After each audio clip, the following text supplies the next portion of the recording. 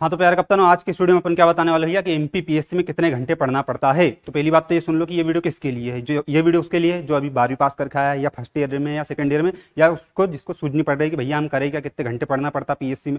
जो आना चाह रहा है पीएससी में, उसके लिए, ठीक है? जो दस पंद्रह साल से पढ़ रहा है, जिनके छुच्छोरी हमारे मान के होगा वो बिल्कुल ट्राई ना करे और बुरा भी नहीं माने, कोई समस्या नहीं, क्योंकि वास्तविकता है। ठीक है भैया? लेकिन आप तो ये बताओ कि कितने घंटे पढ़ना पड़ेगा? तो वो घंटे में यहाँ पे काउंट करके बताऊँगा आपको, ठीक है? किसी को लगे तो उसमें भी अपने हिसाब से करेक्शन कर सकते हो बट मैं काउंट करके बता देता हूँ आपको। दूसरी बात, आज कॉन्फिडेंस लेवल थोड़ा सा डाउन चलेगा तो उसमें इतनी कोई दिक्कत नहीं, क्योंकि डिजिटल वोट है। वो समझ जाओ आप तुम, तुम्हारे हिसाब से। ठीक है भैया तो मैं यहाँ बता रहा हूँ आप लोगों को। अब आप मान लो कि भैया आप पीएससी की तैयारी करने आई रहे हो तो पीएससी की तैयारी कोई व्यक्ति करता है तो पहले क्या पढ़ता है? मेन्स पढ़ता कि प्री पढ़ता? अगर प्री पढ़ता तो उससे बड़ा कोई मूर्ख नहीं है, मेरा मानना ऐसा है पर्सनली मेरा मानना क्या वास्तविकता भी, कोई दिक्कत नहीं। लेकिन अभी यदि आप मान लो मेंस पढ़ते हो तो मेंस में ओवरऑल कितनी बुक पढ़नी पड़ती है? तो अभी एट प्रेजेंट की बात करूँ, यूनिट वाइज होने के बाद में तो उसमें आपको लगभग कितनी बुक 40 से 45 बुक पढ़नी पड़ती है? कहीं भैया, अरे भैया 40 से 45 कैसे पढ़नी पड़े? उसमें इक्यावन बुक पढ़नी पड़े 50 बुक 25 बुक? तो मैंने पूरा बाकायदा इस पर बताया है कि 40 बुक क्यों 45 बुक क्यों और कैसे कितनी। तो ये वीडियो बना रखा, वो लिंक डिस्क्रिप्शन में मिल, उसमें देख लेना। अगर ज़्यादा डाउट है और कि नहीं, हमको कोई समस्या नहीं, तुम जो कह दो, वही सही है। तो ठीक है भैया। वो बता रहा हूँ कितने घंटे पढ़ना है। तो यहाँ पे गणित लगा के बता रहा हूँ। वैसे मैं तो अपना कमज़ोर पर फिर भी अपन बता रहे हैं। इतना संघर्ष कर रहे हो तो तुम सब्सक्राइब कर लो इसी बात पे।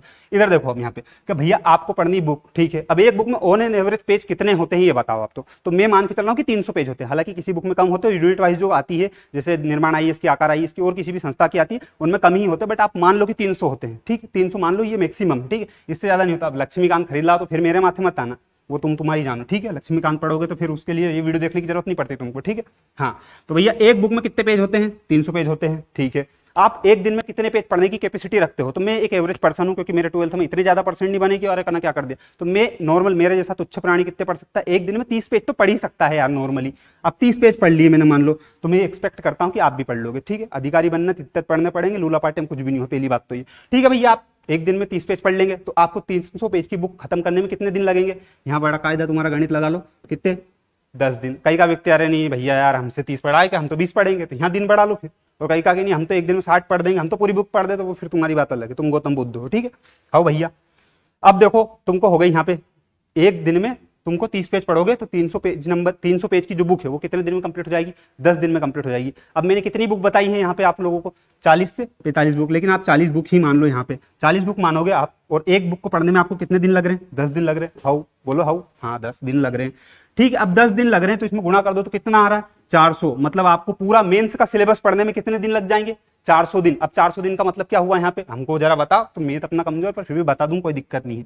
पर तुम सब्सक्राइब मत करना, कसम खाक बैठे, हम नहीं करेंगे, भले कुछ भी हो जाए। तो देखो इधर, देखो यहाँ पे। दिख तो यानी कि नहीं दिख रहा? हाँ सब दिख रहा। तो देखिए, चार सौ दिन का मतलब क्या हो रहा है यहाँ पे? लगभग तेरह महीने। आप कहीं का यहाँ दिन बैठने में, कहीं का एसएससी वाला भैया, बारह पॉइंट फाइव हो रहे तो बारह पॉइंट फाइव हो रहे तो नेता मत बोलो ज़्यादा सिलेक्शन ले लो। और ये तेरह अराउंड लगभग, और लगभग शब्द की कीमत कितनी आपको पता होगा। ठीक है? लगभग की बहुत वैल्यू होती है।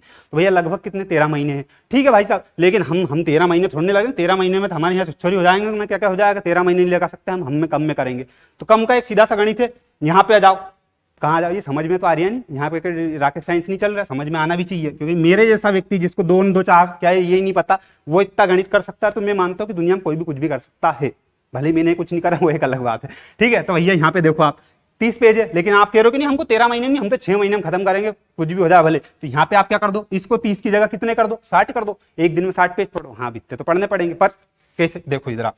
कई का व्यक्ति दिन में तीस पेज पढ़ता है, ठीक है? तो भैया, तीस पेज पढ़ेंगे कैसे हम? तो देखो, तीस पेज या फिर साठ पेज पढ़ता है तो तीस पेज का ऐसा है कि दस सुबह, दस दोपहर को, दस शाम को दवाई की गोली लेना, कोई भी नहीं करना। तो दस दस और दस, ठीक है? लेकिन मान लो साठ करते हो तो बीस बीस बीस।